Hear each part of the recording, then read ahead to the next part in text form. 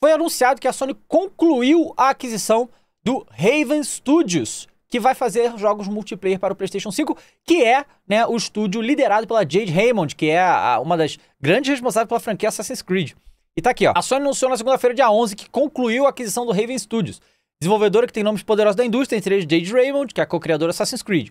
O estúdio prepara um multiplayer AAA exclusivo para o PlayStation 5, que também reforça o foco da Sony em diversificar suas abordagens single player para propostas multijogador da casa também. Em entrevista ao Games Industry, Raymond disse que há um grande investimento em pesquisa e desenvolvimento, além de inovação de longo prazo na nuvem, porque acreditamos ser um game changer em termos de como jogos são feitos. É, assim, isso. Quando a Sony anunciou aquela parada de. Ah, nós vamos ter até 2025 12, acho que 12 ou 10, sei lá, jogos multiplayer, live service, né? Foi uma coisa que assustou. É, e eu ainda duvido desse número, ok? Mas, é, pelo menos o que a Sony tá fazendo? Ela tá pegando estúdios novos para fazer esse negócio. Claro que tem coisas nos estúdios que eles já têm. Mas eles não estão, tipo, tirando a atenção de estúdios que estão focados em jogos single player pra fazer um multiplayer. Você entende? Então, olha, certamente algum estúdio isso que eu falei provavelmente está acontecendo.